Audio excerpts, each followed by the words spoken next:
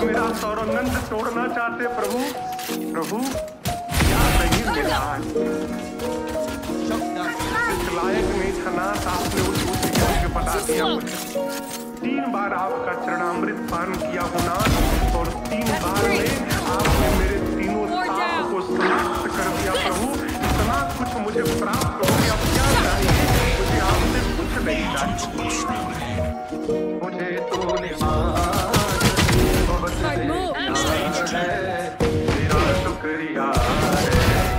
आपसे कुछ नहीं चाहिए मुझे